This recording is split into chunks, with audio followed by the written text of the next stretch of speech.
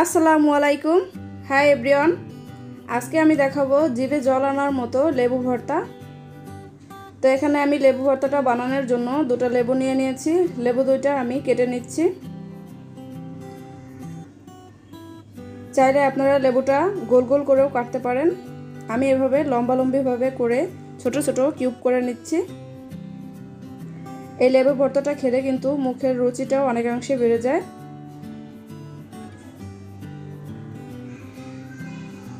তো আমি এইভাবে এই দুটো লেবুই কেটে নিব।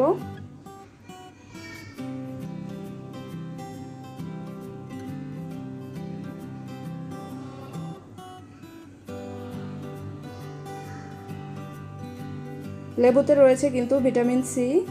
আমাদের সকলেরই উচিত লেবু খাওয়া।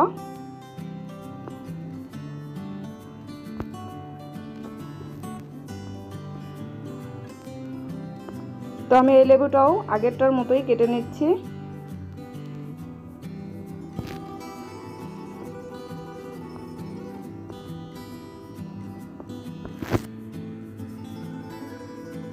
আমার লেবু দুটো কাটা শেষ। এখন আমি ধনিয়া পাতাগুলো কুচি কুচি করে কেটে নিচ্ছি।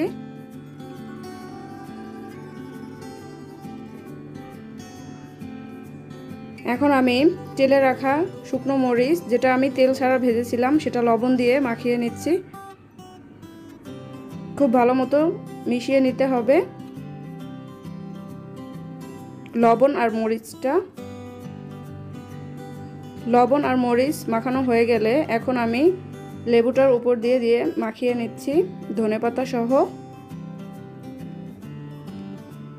এখানে কিন্তু লেবুটা বেশি সময় নিয়ে মাখানো যাবে না। এতে করে কিন্তু লেবুগুলো তিতো হয়ে যাবে আর রসটাও কিন্তু বের হয়ে যাবে। এভাবে করে মাখিয়ে নিয়ে তৈরি করে নিলাম। খুবই মজাদার এবং লোভনীয়। মুখে জল আনার মতোই লেবু ভর্তা। তো এটি অবশ্যই আপনারা বাসায় ট্রাই করবেন। আর ভিডিওটি এতক্ষণ সময় ধরে দেখার জন্য সবাইকে অসংখ্য ধন্যবাদ। যারা এখনও আমার চ্যানেলটিকে সাবস্ক্রাইব করেননি, প্লিজ সাবস্ক্রাইব মাই চ্যানেল।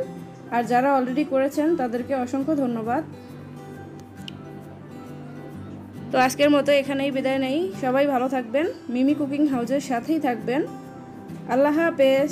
আসসালামু আলাইকুম।